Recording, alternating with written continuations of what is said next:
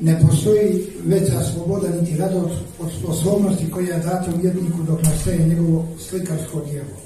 To su potrebna stanja u kojim umjetnik istinski raste. Jedan od tih je javni ljudi koji je večeras po prvi put u Crnoj Gori, koji po prvi put izlaže na prostorima naše države, a nama je posebna čast što se to upravo dešava u našem centru za kulturu. Prema tome, poštovani prijatelji, dobro večer, Akšamajla, dobrodošli na izložbu pod nazivom Simfonija COVID 2019. gospodina Avnija Behljunija iz Milana, akademskog slikara iz Milana.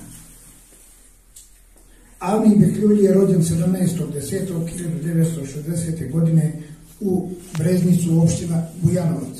1986. je završio studije na Akademiji umjetnosti u Prištini svijet valjarstva. 1987. postaje član figurativnih umjetnika Kosova, 1998. godine je magistrirao na Univerzitetu u Prištini. 2008. godine izabran za predsjednik udruženja figurativne umjetnosti u Milanima i jedan je od promotira srednje javne umjetničke škole u Milanu. 2012. godine postaje direktor srednje škole vizualnih umjetnosti u Milanu, živi i radi u Milanu.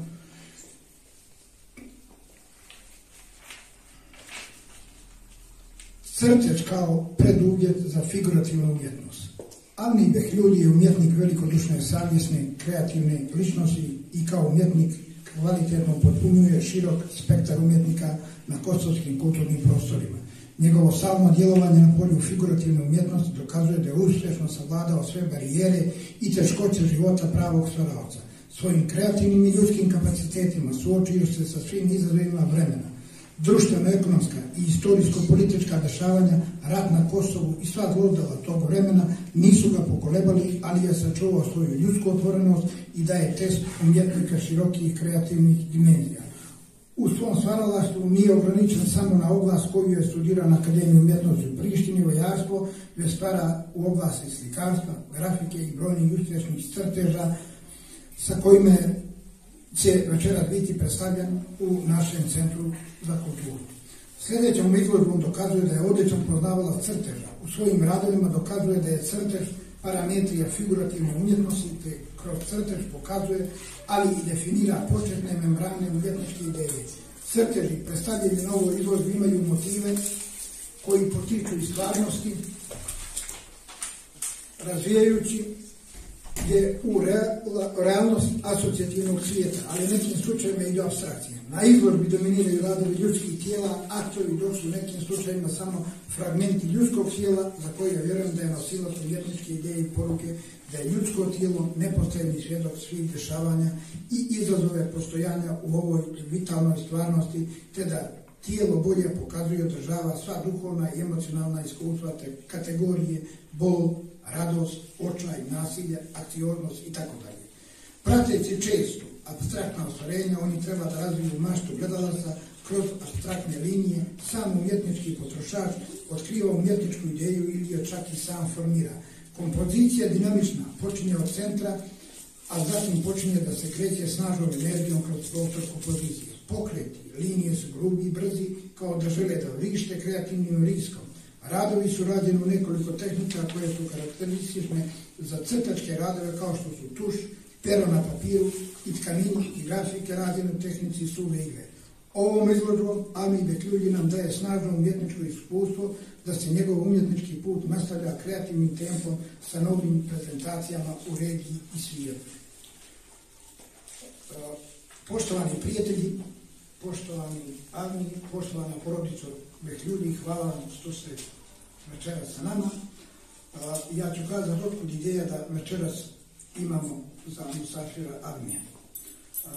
Zajednički naš prijatelj Ismet Azizi, kada sam ga pitao daj mi nekog od umjetnika sa Kosova da bude kod nas na koloniji koja se desila prije mjesec i pol, on mi je predložio armiju. Ja mi je bio jedan od kandidata, međutim zbog profesionalnih obaveza nije moglo da bude na koloniji, onda smo dogovorili da on učestvuje na samostalno likovnoj izložbi kod nas. I on je to rado prihvatio i hvala mu što se odazvao. a, također njegov veliki prijatelj sa kojim se družio nekada možda, da ne kažem davno, je i naš magistar Irvin Matlić, a on će kazati svoj sud o ovim slikama i ne samo ovim, nego uopšteno o radovima koje radi naš večerašnji musafir. Gospodine Maslić, izvolite. Hvala Sinane na lijepim rečima i na najavi naše kolege Avnija Bekljudija. Eto, na samom početku izuzetna čast i zadovoljstvo mi je što večeras mogu da govorim nešto o svom kolegi kojeg sam upoznao još dok smo boravili u Turskoj na likovnoj koloniji gdje smo imali jednu izvarednu saradnju gdje Avni imao izvaredne radove koje su bili zapaženi tada i u javnosti u Turskoj. To je, ako se ne sjećam, u Kušadasiju bilo, je tako? Jeste. Jeste. Ovaj, I gdje smo zajedno ovaj, promovisali uopšte kulturu, kulturu balkanskih naroda, Crne Gore, Kosova, Makedonije, bilo jedno desetak zemalja koji su bili tu. I tako da je ta počela saradnja sa, sa ovaj, gospodinom Avnijom Behljuljijem, koji je jedan izvaredan slikar, koji je jedno ime umjetnosti ovaj, Kosova i šire, tako da, da, da smo odmah našli tu saradnju i baš mi je drago što večeras, baš ovdje, i to po prvi put da se predstavlja u Crnoj Gori, koliko znam, Avni imaju jedno 30 samostalnih izložbi, ovo bi večeras bila 31. samostalna izložba, po prvi put u Crnoj Gori, i to baš u Petnici, u Petnici koja ovako nekako raširenih krila čeka sve ljude dobre volje, sve umjetnike koji žele na najbolji način da, da, da se promovišu. Tako da još jednom zahvalnost i, i Upravni centar za kulturu i opštini Petnica koji uvijek prepoznaju ovaj, prave ljude, prepoznaju umjetnost, žive za to i, i otvaraju vrata za jednu saradnju koja, koja je ovaj, koja je u zadnje vrijeme izvaredna, znači pogotovo Evo, ja vam mogu reći da radim u Centru za kulturu u Beranama, ali Petnica što je napravila ovaj kulturno ljeto i programe, da vjerujte mi, eto, jako sam, ne bi bilo baš možda i popularno to da kažem, da vjeruj mi, Petnica ne zostaje u jednom trenutku za, za gradovima u okruženju, čak naprotiv možda ima i bolje i kvalitetnije programe. E, meni izuzetna čast, još jednom kažem, da, da ovaj najavim uh, umjetnika Avnija Behljudija, izvarednog umjetnika koji je po vokaciji i vajar, i slikar, i crtač. On, on se večeras ovdje predstavlja sa crtežima, to je jedna figuracija, tu prevladavaju većinom uh, te uh, figure, figure životinja, konja, i ostale biomasni oblici koji on na jedan izvaredan način u kombinaciji sa, sa slikarskim potezima radi crtež većinom tuše koji ovaj, izvači i, i izvodi do perfekcije.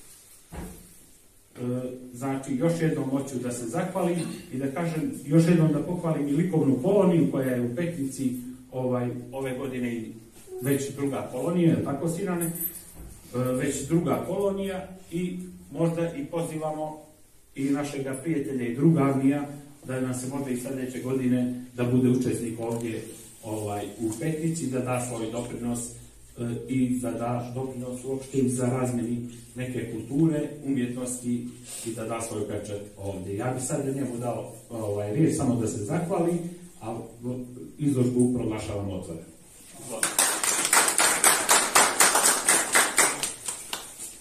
Poštovani prijatelji i ljubitelji umetnosti.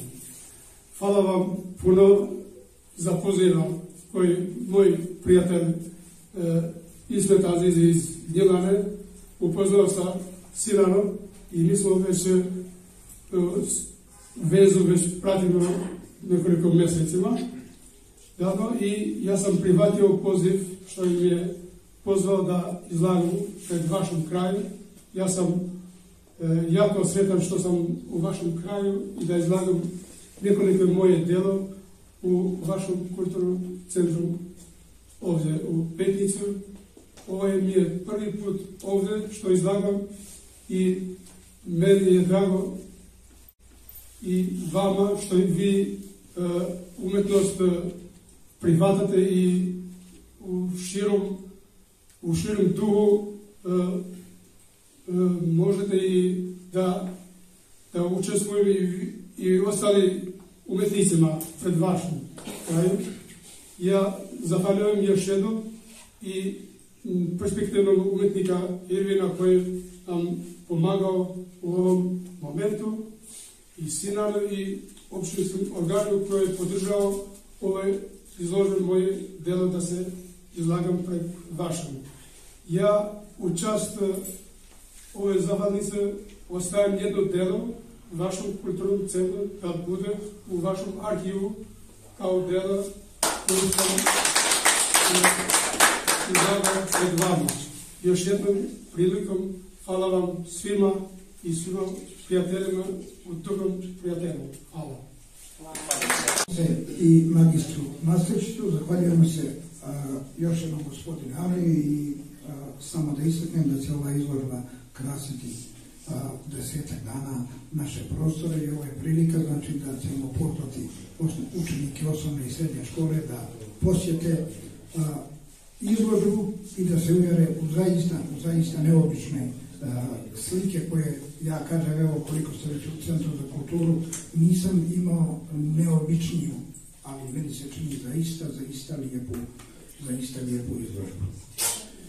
E, a, da se zahvalim još jednom svima vama koji ste večeras došli, a Irvin traži riječi da ćemo mu na kraju neki ono završiti. Izvoli. Hvala.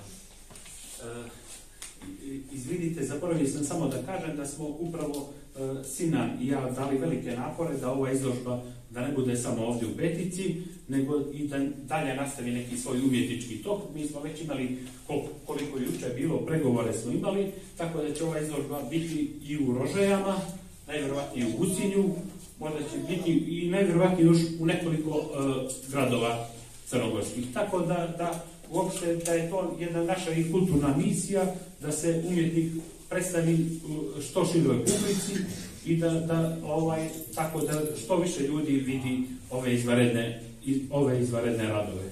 Zahvaljujem vam se još jednom izložbu proglašavam otvorenu. Hvala.